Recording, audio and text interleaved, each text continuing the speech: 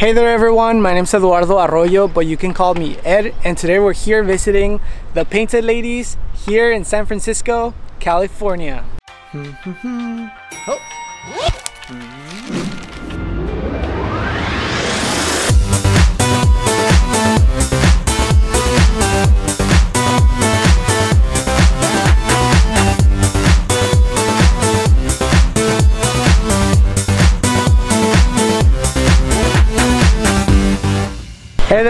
Everyone. Hold on just one second. Ah, that's much better. Anyways, you guys, you heard that right. Today we're exploring one of the most iconic and emblematic locations here in the city.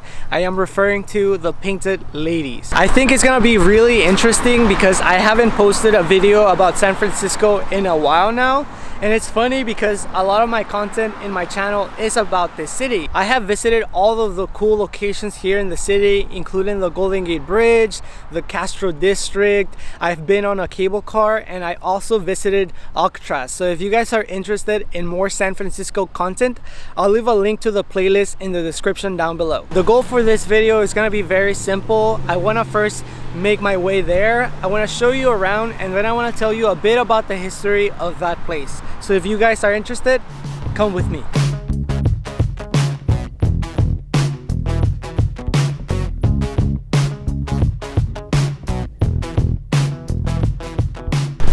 Alright you guys, just like that we made it here to Alamo Square Park. The Painted Ladies are actually just the street across from this park uh, they're actually across from uh, Steiner Street if I'm not mistaken, which should be over yonder. Check out that amazing view you guys. You can already tell why this place is so popular. And as you're walking through the park, you'll see circles just like this one, indicating where people can sit down in order to practice safe social distancing. And chon chon chon, here is why we're here for. Check it out you guys, these are the Painted Ladies, these seven houses right here. These houses go by different nicknames other than the Painted Ladies. People also like to call them the Seven Sisters. As I mentioned before, this is a cluster of seven houses and uh, another nickname they give them is Postcard Row. I actually think that Postcard Row is the best nickname for this place. Let me tell you why. Postcard Row or the Seven Ladies appear in mass market photographs of the city of San Francisco. So you will see these on postcards, you will see these on posters, you will see these on buses and on TV. These are so popular that it is estimated they have made an appearance in over 70 movies, TV shows, and ads. This includes the opening credits of the series Full House and then the new version Fuller House, none of which I've seen by the way. So I think we can assume that everyone knows about this place since it's so dang popular. But actually, not everyone knows about the story behind this place. That's what I want to talk to you guys about today.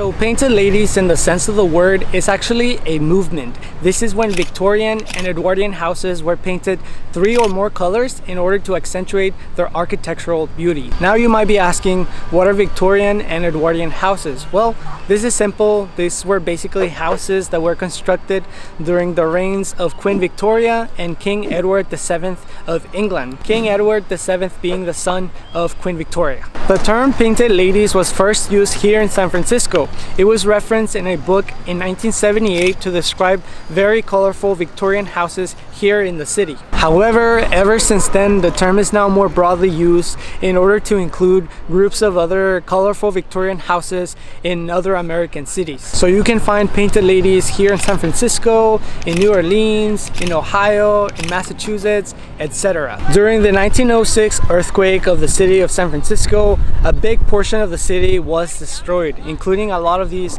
Edwardian and Victorian houses. Thousands did survive on the western and southern parts of the city, but a lot of these houses were gone. Many of these houses that did survive were eventually demolished and those other ones were repainted gray with surplus navy paint during the first and second world wars. So a lot of these places that did survive in the end lost all their color. The story of how these houses regained their unique colors is very interesting to me. It all started with one artist who decided to repaint his house with bright colors. At first his neighbors were reluctant. You could imagine like all the, the block was gray and his house was the only one with bright colors. But eventually they decided to copy him and they changed the face of this neighborhood. The artist realized that this could become something bigger, so he decided to partner with other artists in order to make this a movement. And by the 70s, the so-called colorist movement had changed the face of multiple neighborhoods in the city of San Francisco. And believe it or not, that movement is still alive today.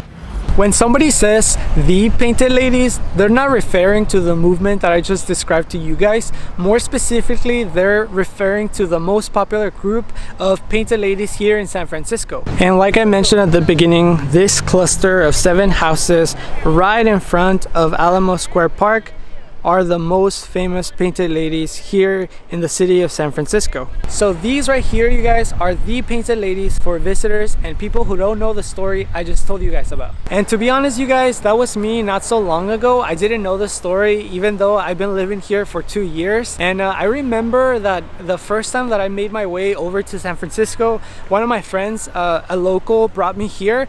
He was like, yeah, this is one of the most popular places in San Francisco. And I was like, okay, I guess I have to take a picture, but I didn't understand why they were so popular. Honestly, I didn't get it at all. But now that I live here and now that I know this story, I can appreciate this place that much more.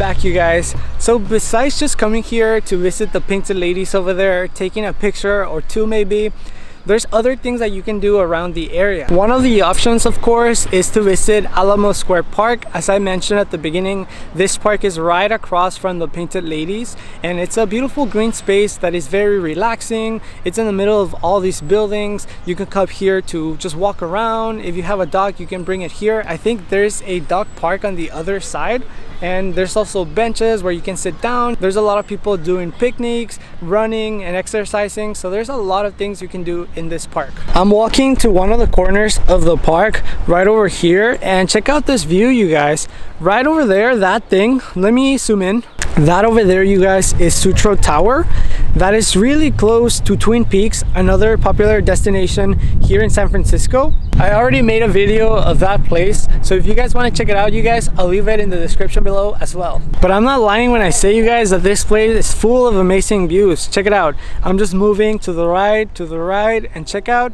You can see all of the different views you can get from this park. Found this group of kids skating right here. You guys want to say hi? What's up? What's up? Go subscribe. and uh, this little kid right here is gonna show us a trick so let's see.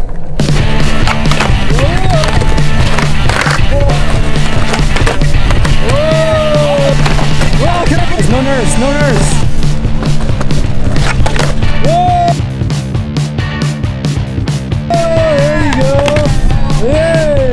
right thank you guys. Thank you for the tricks. That was so fun you guys. Those guys were really nice. And uh, they had some really cool tricks to show us. Moving on to the last thing that I want to show you guys. This place is also located right across from the park and I think you can already tell what it's gonna be. Do you see? What I want to show you guys is a couple of murals that are really close to the painted ladies. The painted ladies are right over there and the murals are right here. So in the same road steiner street. So these murals right here you guys they're not super old. I don't think i remember seeing them the last time that i was here. It is a relatively new addition to this place. With that said these murals are really really nice. And just like the painted ladies at the time these were created in order to make this place that much more beautiful. I think I speak for the majority of people when I say that these are really nice and they would make for an amazing Instagram background. So if you ever make your way over to the Painted Ladies, don't forget to just walk a few more feet and you'll make your way to some really cool murals.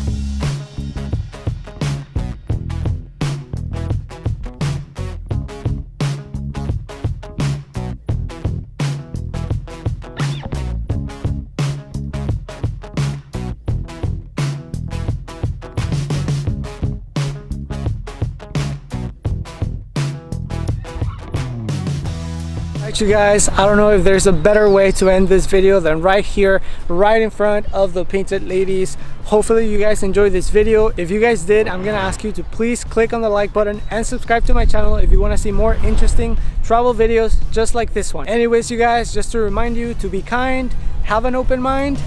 I'll see you next time